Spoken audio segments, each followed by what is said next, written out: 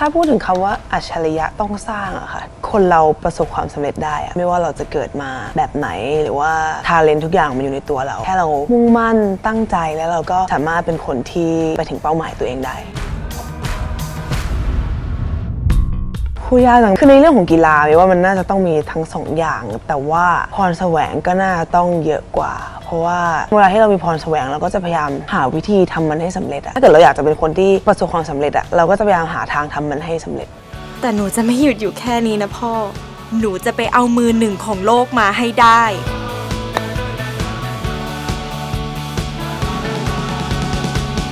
การต่อสู้กับความฝันของเมย์อะค่ะพี่ว่าเรื่องแรกตัวเองนะตอนเด็กๆเวลาที่คุณพ่อคุณแม่ทำอะไรเงี้ยเราอาจจะไม่รู้ว่าทำไปเพื่ออะไรจนวันที่เราโตมาเราก็จะรู้ว่าเราทำมันไปเพื่ออะไร การที่คนคนหนึ่งจะถึงเป้าหมายตัวเองได้อะเราต้องมีความคิดที่ถูกต้องอะเราต้องรู้ก่อนว่าอะไรที่เราจะต้องทำให้มันดีขึ้น เราจะไม่ใช้เวลาไปกับเรื่องที่มันไม่ทำให้เราไปถึงเป้าหมายเราเร็วขึ้น เพราะฉะนั้นทุกๆวันที่เราออกมาทำอะไร เราก็จะพยายามทำทุกๆอย่างให้มันใกล้กับเป้าหมายเรามากขึ้น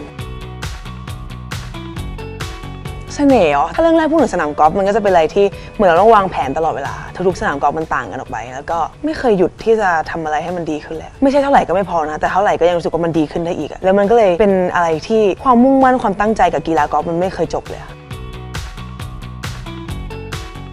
ถ้าวันนี้ไม่ได้เป็นนักกอล์ฟอะค่ะทำไมตอบยากจังจริงด้วยความที่เล่นกอล์ฟตั้งแต่5ขวบครึ่งอะโตมาก็อยู่กับกอล์ฟมาตลอด แล้วกอล์ฟมันก็เป็นแรงในการผลักดันในการใช้ชีวิตอะช่วงแรกๆที่คิดว่าแบบอยากดูแลคุณพ่อคุณแม่ หรือว่าโตขึ้นมา อยากเป็นอะไรก็แล้ว แต่มันก็เกี่ยวกับกอล์ฟหมดเลยอะอย่างต่อไปที่ไม่อยากจะทำอะอย่างแบบไม่อยากจะช่วยเด็กไม่อยากจะมีมีมูลนิธิเป็นของตัวเอง อยากทำอะไรให้เด็ก ๆ มากขึ้นมันก็เกิดขึ้นได้จากการที่ไม่เล่นกอล์ฟอะเพราะฉะนั้นกอล์ฟมันก็เป็นทุกอย่างของเมย์ถ้าเกิดถามว่าถ้าไม่เล่นกอล์ฟเป็นอะไรตอนเนี้ยบอกได้ว่าไม่รู้อยากสวยไง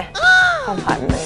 ก็อยากให้มาดูกันนะคะเมย์เชื่อว่าจะได้แรงบันดาลใจแล้วก็การต่อสู้ชีวิตที่ดีในหนังเรื่องนี้แน่นอนค่ะ เจอกันในโรงภาพยนตร์นะคะ โรเมอัจฉริยะต้องสร้างวันนี้ในโรงภาพยนตร์